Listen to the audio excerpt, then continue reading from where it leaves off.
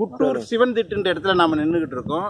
இங்கே வந்து மூணு காலகட்டத்தை சேர்ந்த செங்கற்களாலான கட்டுமானம் நமக்கு கிடைச்சிருக்கு. ரொம்ப இயர்லிஸ்ட் செங்கல்னு சொல்கிறது ஏற்கனவே பார்த்த முப்பத்தி எட்டு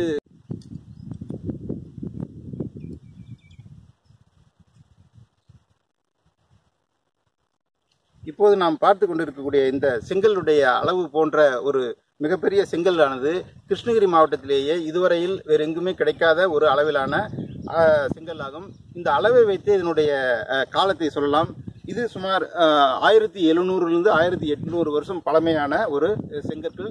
இந்த மாதிரியான செங்கல்லை கொண்ட கோயில்கள் சாலுவாங்குப்பம் என்று சொல்லக்கூடிய மகாபலிபுரத்தை அடுத்த சாலுவாங்குப்பத்திலே ஒரு முருகர் கோயிலில் இதே மாதிரியான அளவு.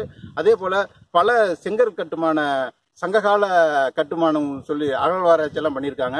அந்த அகழ்வாராய்ச்சியெல்லாம் கூட இதே மாதிரியான அளவு கொண்ட செங்கற்கள்லாம் கிடைச்சிருக்குங்க. அது மாதிரியான ஒரு செங்கல் வந்து கிருஷ்ணகிரி மாவட்டத்தில் கிடைக்கக்கூடிய இது முதன்முறையாக இந்த இடத்தில் தான் நமக்கு இது மாதிரியான இந்த அளவிலான செங்கற்கள் கிடைத்திருக்கின்றன